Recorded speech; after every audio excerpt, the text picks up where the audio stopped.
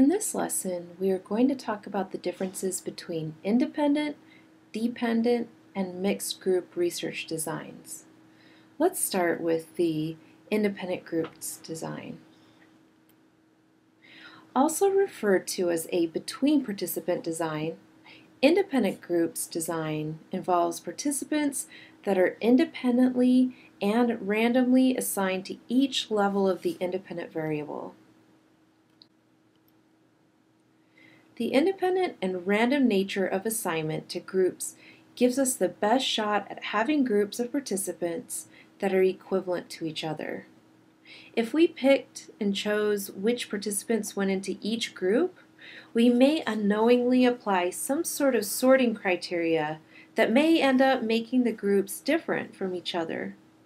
For example, if we put all the first responders to the study in one group and everyone else in the second group, we may end up with different characteristics of participants in each group. It could be that the first recruitment flyer went up at a university, and so all of the first responders ended up being university students. In this type of design, the scores from one group are considered to be independent of the scores in the other group or groups. What we mean by independent is that the scores come from participants who likely have no sort of relationship with one another. For example, in a study of how music affects sleep quality, we may assign half of our participants to a condition in which music is played while they sleep and the other half of the participants to a second condition in which no music is played during sleep. When we compare the scores for our measure of sleep quality between the group that listened to music and the group that did not listen to music, we can say that the scores of the two groups are independent of each other since different participants were assigned to each condition. We can also have multiple levels of the independent variable in an independent group's design.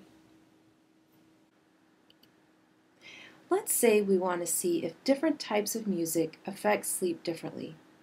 We could have a classical music condition, a rock and roll condition, and then our control condition of no music. In this case, we have three total levels of the independent variable so we would have three groups of participants, one for each condition.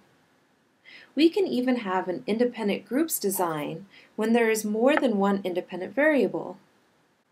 Sometimes we may want to know how multiple variables affect our dependent variable. For example, say we want to know not only how music affects sleep, but also the time the participant goes to bed either before midnight or after midnight. This is referred to as a factorial design when we have multiple independent variables. When we have independent groups in a factorial design, participants are randomly assigned to each level of more than one independent variable. So for example, a single participant may find herself in the classical condition of the music variable and the before midnight condition of the time to bed variable. We would similarly fill in the time to bed conditions with the participants so that half from each music condition also experience either one or the other time to bed condition.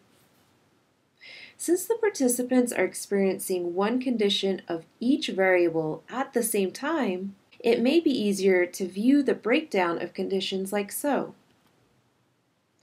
Now we can see the combination of conditions from each independent variable that each participant gets to experience.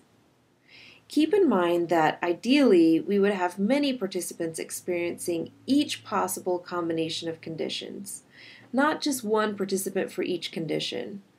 So for example, we would want a whole group of participants experiencing rock and roll while going to bed before midnight, not just one as shown here, but you get the idea. We can alternatively have a dependent groups design. We'll talk about that next and how it differs from independent groups design. Typically, in this type of design, the same participants participate in all levels of the independent variable, and their scores for each level of the independent variable are compared to each other. This type of design is also referred to as a within participants or repeated measures design. Scores are said to be dependent on each other in this case since the scores from one condition came from the same participants as the scores from the other condition. Because the same participants are used in each condition, it is expected that the scores are going to be related in some way. A dependent groups design applied to our earlier example of how music affects sleep quality would give us a single group of participants participating in each condition of the independent variable. In other words, all participants would participate in the music condition one night and then participate in the no music condition the next night. Another type of dependent groups design is one in which matched sets of participants are assigned in such a way that one member of each matched set is randomly assigned to each condition of the independent variable.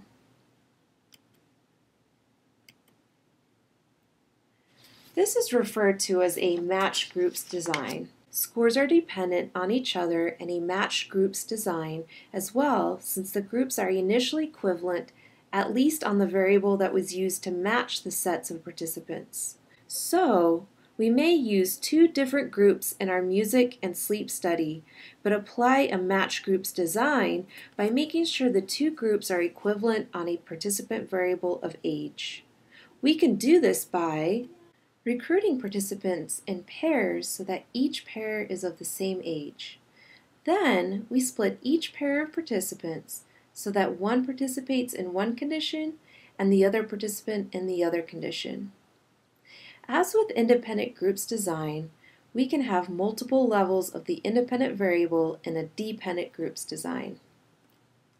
For example, if we want to test out our three different conditions of music type, classical, rock and roll, and no music, in a dependent groups design, we would assign all participants to all three conditions so that each participant gets to experience each condition. We also can have a within participants factorial design. If we add in the independent variable of time to bed, then, well, we are keeping our participants quite busy since they would have to experience all six possible combinations of conditions. All three music conditions combined with a before midnight time to bed condition, and then all three music conditions combined with an after midnight time to bed condition. Let's now talk about mixed group design. Sometimes we have study designs in which one or more variables are assessed between participants, as in an independent groups design, and another variable or variables assessed within participants, as in a dependent groups design.